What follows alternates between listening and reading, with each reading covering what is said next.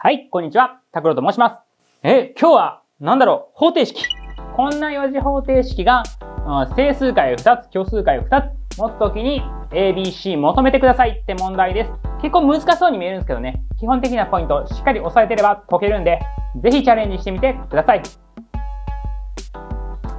はい、いきます。はい、じゃあ解いて参りましょう。こんな少ないヒントで解けるんかって思うかもしれないですけど、解けるんですよね。大きくヒント見えてるのはここ2つね。ここ整数解と虚数解っていうことですけど、これどっちから取り組んだらいいか、わかりますでしょうか？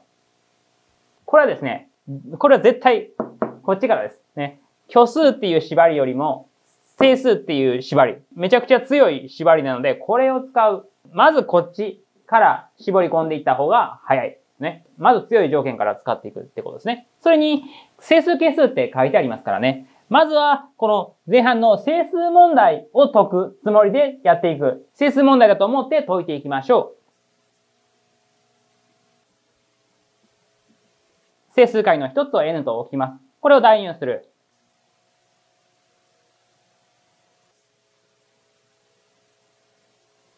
はい。こんな形になります。整数問題のやり方といえば、因数分解して約数の不等式で絞る、余りで絞るっていうことですけど、まあどっちかな？どうかな？例えば、n が少なくとも0じゃないですよね。1はあるかもしれないけど、例えば2ってないですよね。2の倍数、2の倍数、2の倍数、2の倍数、プラス1が0。奇数イコール0ってなるわけないですから。例えば2とかじゃないですね。えー、3とかも違いますね。3だったらやっぱりここは全部3の倍数になりますから。ね、3の倍数足す1が0になるはずがないです。まあそういうふうな形で言ってあげたらいいかなと思います。まああまりの考え方でもあるんですが、これは、あの、くくってあげる因数分解の形でいいと思います。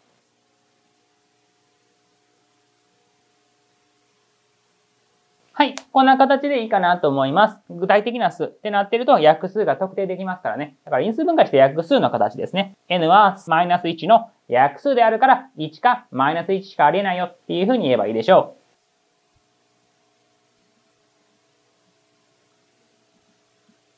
ということで、整数解があるとすれば、1かマイナス1以外ありえないので、2つの整数解っていうのは、1とマイナス1の組み合わせしかないですね。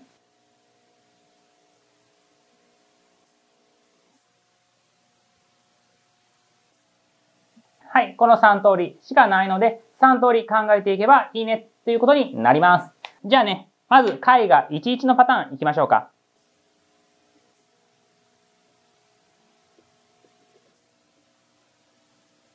はい、解いていきましょう。11をもちろんここに代入していっても構わないんですが、x イコール1が10回になってますんで、まあ、このパターンであれば、因数分解形に持っていった方がいいですね。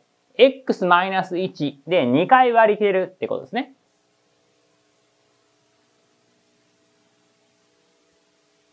こういう形になるから、1を2つ10回として持つというふうに言えるわけですね。で、x2 乗マイナス 2x プラス1で割った結果をここに書いてあげればいいわけです。ただし、ちょっと今回は楽します。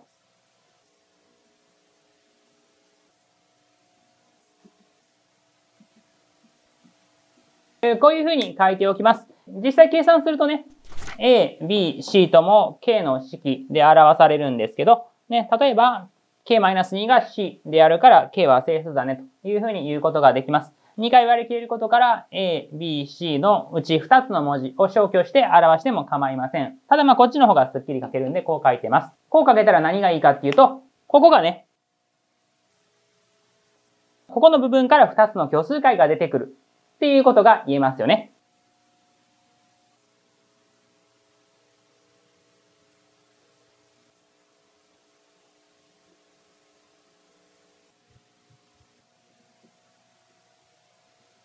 判別式かな？ね、b2 乗マイナス 4ac が負というふうに言ったらいいですね。そこからですね、この不等式を解いてあげれば、絶対値が2より小さいので、k は整数ですからね、k の候補が定まります。これは不等式で絞り込むパターンですね。こんな風に一つ目のパターンが求まりました。二つ目のパターン行きましょう。二つ目は、マイナス1、マイナス1です。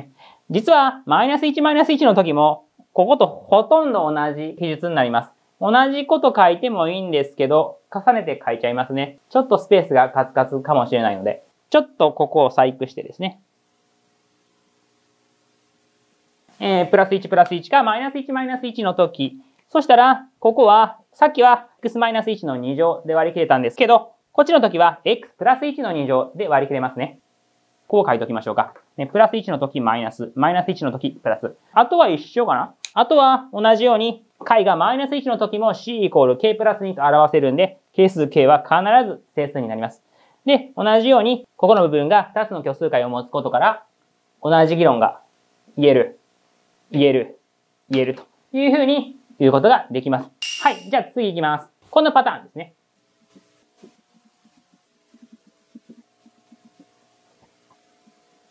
はい。これも同じように因数 x-1 と x プラス1、x-1 と x プラス1を因数に持ちます。なので、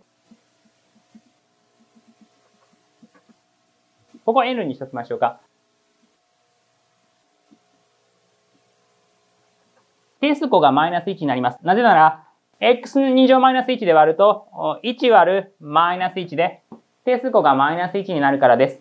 はい。えー、ということで、これ、えー、考えていきましょう。ここが2つの虚数解を持つっていうことですから、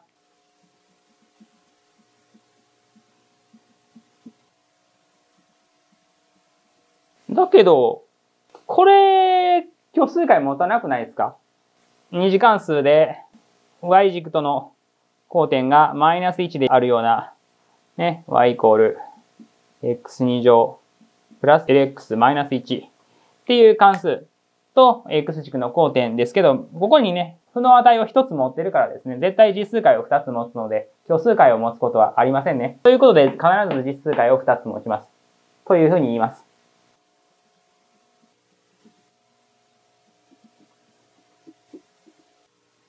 こんな形でいいかなと思います。ということで、まとめに入ります。これと、これだけかな。こっちの場合はないので、これをまとめてあげればいいですね。K が求まったんで、A、B、C も求まります。はい。ということで、fx のパターンがですね、ここの k が3つあるので、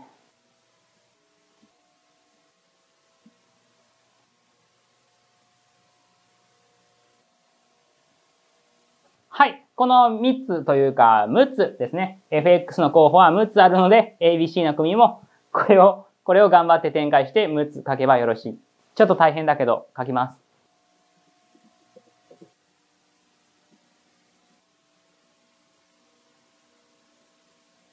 えー、っと、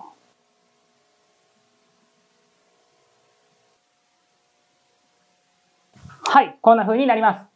ちょっと上下が、これ上下綺麗に対応しているわけじゃないんですけど、こういう風になります。この中では不合同順成り立ってるからこうしておきましょうか。はい、まとめ。